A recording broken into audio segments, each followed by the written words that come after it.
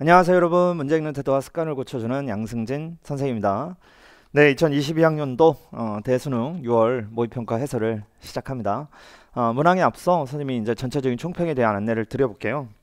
네 처음 드디어 우리가 가나형 시험이 아닌 어, 공통과 선택 과목으로서 시험을 치러봤는데요.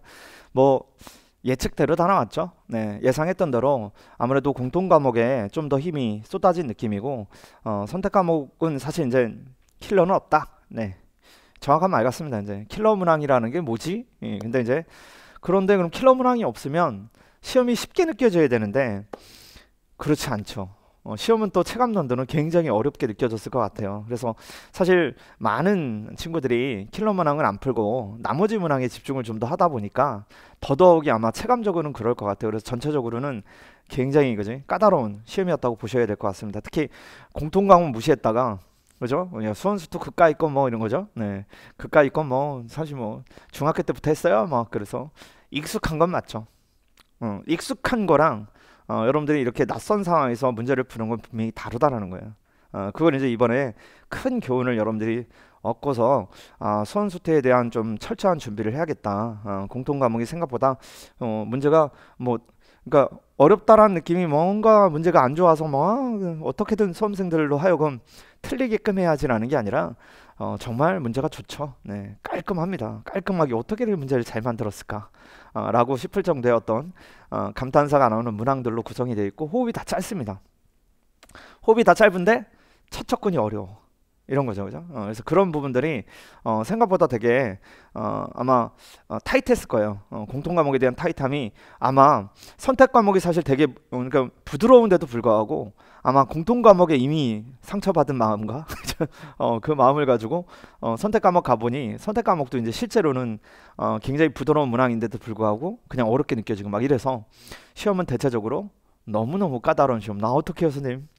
선생님 어떡하죠? 저 공부 되게 열심히 했는데도 어, 다 사실 어, 예측이 됐던 사항들이죠. 네, 이렇게 될 거라고 선생님은 어, 예상을 하고 있었어요, 사실. 어, 그래서 어, 어, 향후 커리에서 공통에 대한 좀 강화를 시켜야겠다. 공통에 대한 강화를 좀 시켜보고 어, 그리고 물론 그렇다고 해서 선택 과목을 우리가 소홀히 할 수는 없죠.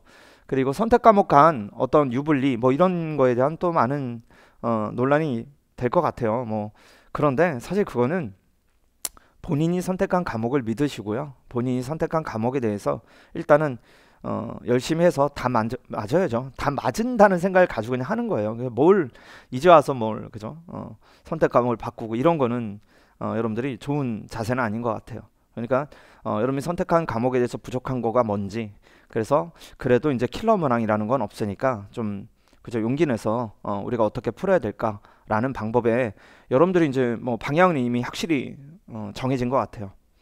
사실 6평이 범위는 어, 선택 과목이 범위는 좀 그래도 제한이 됐었지만 사실은 그냥 전범위처럼 생각하면 되거든요. 어, 전범위라고 생각하고 난도에 대한 어, 예측을 해도 되니까 올해는 사실 예년에 9평 이후로 했던 작업들을 선생님이 6평 이후로 어, 우리가 이제 해볼 수 있는 어, 기회가 생기게 된 거죠. 오히려 그죠. 왜냐면 그만큼 공통 과목에 대한 전범위가 어, 사실은 크니까요. 사실 방향성에 대한 평가원이 사실은 3개월 빨리 알려준 거거든요. 네, 그러니까 우리가 3개월 더 빨리 어, 올해 수능에 어, 맞는 그런 공부를 할 수 있겠죠. 선생님이 거기에 맞춰서 여러분 안내 드릴 테니까 너무 점수 가지고 어, 걱정하지 마세요. 어, 선생님 전 벌써 포기해야 되나요? 어, 이런 얘기가 아마 이제 막 그지 어, 상상 속에 들리는데 어, 그럴 필요 없어요. 네, 그럴 필요 없고 어, 이제부터죠. 어, 이제부터 점수 올리는 공부는 지금부터 이제 여러분들이 어, 누가 더 어, 자신감 가지고 박차를 가느냐. 과거의 점수는 그냥 원래 6평이라는 건 점수 가지고 자만할 필요도 없고 6평 점수 가지고 좌절할 필요도 없어요.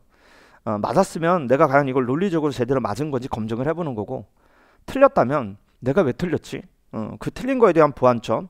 아, 너 큰일 날 뻔했다. 이거 수능 때 틀렸으면 어떡할 뻔했어. 미리 틀려서 참 감사하다. 어, 그래서 그런 부분에 대한 어떤 취약점을 내가 어떻게 어, 대비를 해야 되는지 그런 분석을 해나가는 거죠. 어, 그런 거로 이제 여러분들이 마음가짐을 갖는 거예요. 기분은 좀 안 좋을 수 있는데 어, 그래도 어, 긍정적으로 생각하는 것이 여러분들 남은 기간 어, 여러분들이 어떻게 어, 공부를 좀 더 집중 있게 자신 있게 하느냐를 결정지으니까 좀 긍정적인 생각을 갖는 게 맞겠죠. 모두 그럴 수 있죠. 네. 네. 어, 시험 보느라고 정말 고생 많았고요. 네. 원래 시험 이게 쉬운 게 아니거든요. 여러분들. 그죠? 어, 그리고 또 우리 그죠? 어, 마스크 쓰고 또 시험 집중해서 하는 것도 쉬운 일이 아닐 거고 어, 우리는 어쨌거나 그런 악조건에서도 지금 하고 있는 거니까 여러분들 누구나 누구나 사실 시험 최선을 다해서 치렀다면 어, 칭찬해 주고 싶어요. 네, 그러니까 어, 점수랑 관계없이 고생 많았고 어, 앞으로 이후 동안 어, 선생님 이제 문항에서 어, 어떤 문항들이 어, 메인이 되고 그런 문항들 속에서 우리가 이제 미래에 남은 기간 동안에 어떻게 공부해야 되는지 남은 기간이 비록 짧아 보여도 어, 이전까지 공부했던 시간보다 훨씬 중요하거든요. 그러니까 우리가 어, 겨울 방학 1월 달에 막 공부했던 뭐 어, 그죠? 하루 동안 공부한 양이 실제로 지금은 이제 앞으로 1시간 만에 그죠? 1시간에 공부하는 양이 사실 과거에 공부했던 막 10시간의 효과를 낼 수 있는 거거든요. 수능이 가까워질수록 분명히 시간은 훨씬 더 중요한 시간이니까 어, 절대로 헛도로 보내지 마시고 어, 매 시간, 매 분, 어, 매초 아껴가면서 남은 기간 동안 이제 어, 적어도 이제 방향성이 정해졌으니까 그 방향대로 공부하는 게 맞겠죠. 그죠? 어, 선생님이 일단 여러분들에게 어, 뭐 어떻게든 선생님도 최선을 다할 테니까 여러분도 어, 최선을 다해서 어, 따라와 주길. 그죠? 어, 실망하지 마시고 아시죠? 네. 총평 여기서 마무리 짓고요. 문항 통해서 만나도록 할게요. 네, 여러분 고생 많았습니다.